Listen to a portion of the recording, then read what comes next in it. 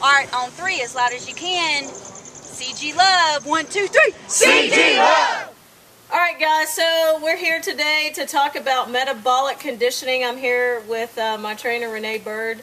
So, Renee, let's talk about metabolic conditioning and uh, one of the emphasis that we have on Camp Gladiator this week. All right, so we are in week four, and um, metabolic conditioning is basically our entire focus for. The goal is to train differently than we have weeks one, two, and three in order to keep your body from plateauing.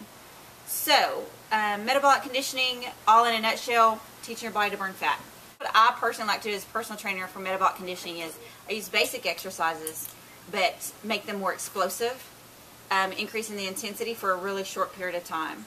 Um, basically, teaching the energy and the storage process of your body to work differently. Um, for example, we might do high knees for straight 60 seconds and crank out um, maybe two sprints and then come back and take a 30 second break. So the idea is work really, really hard for a super short amount of time, increase your heart rate super, super high, and then give it a very short resting period, and then kick it back off again. All right, guys, let's break it down.